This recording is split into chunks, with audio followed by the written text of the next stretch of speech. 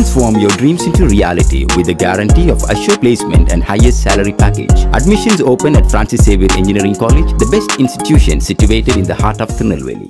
மக்களவைத் தேர்தல் நடந்து வரும் சமயத்தில் ஹரியானாவில் நடந்து வரும் அரசியல் நகர்வுகள் கவனிக்கத்தக்கதாக மாறியிருக்கின்றன ஹரியானா சட்டசபையில் கட்சிகளின் பலம் என்ன தற்போதைய நிலவரம் என்ன என்பதை விவரிக்கிறார் செய்தியாளர் நிரஞ்சன்குமார் ஹரியானா மாநில சட்டப்பேரவைக்கு மொத்தம் தொண்ணூறு இடங்கள் பெரும்பான்மையை நிரூபிக்கிறதுக்கு நாற்பத்தி ஆறு இடங்கள் தேவைப்படும் இப்போ ஹரியானா மாநில சட்டப்பேரவையில் எண்பத்தி எட்டு தொகுதிகள் தான் இருக்கு. இரண்டு தொகுதிகள் கர்னல் மற்றும் ரனியா ஆகிய இரண்டு தொகுதிகள் காலியானதா இருக்கு. அதனால பெரும்பான்மைக்கு நாற்பத்தி ஐந்து இடங்கள் கிடைச்சா போதும்.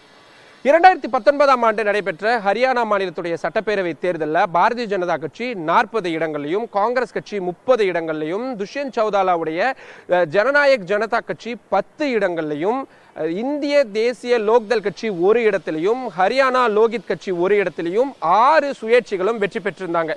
எந்த கட்சிக்குமே பெரும்பான்மை இல்லாத சூழல்ல தான் தேர்தலுக்கு பிந்தைய கூட்டணியா துஷ்யந்த் சௌதாலா தனது பத்து சட்டமன்ற உறுப்பினர்களோட பாரதிய ஜனதா கட்சிக்கு ஆதரவளிச்சிருந்தார் அதனை அடுத்து கடந்த நான்கு ஆண்டுகளுக்கு மேலா பாஜக எந்த விதமான பிரச்சனையும் இல்லாம அங்க ஆட்சி நடத்திட்டு வந்தாங்க.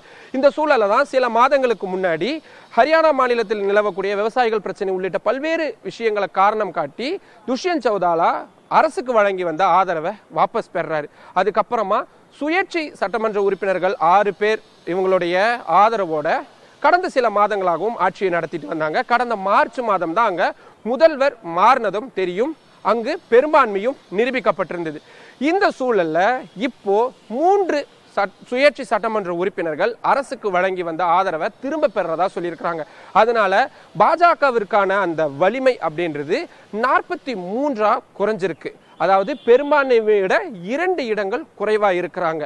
இந்த சூழல்ல எப்படியாவது நம்பிக்கையில்லா தீர்மானத்தை கொண்டு வந்து ஆட்சியை கவிழ்த்தரலாமா அப்படின்ற யோசனையில காங்கிரஸ் கட்சி தீவிரமா இருக்கிறாங்க.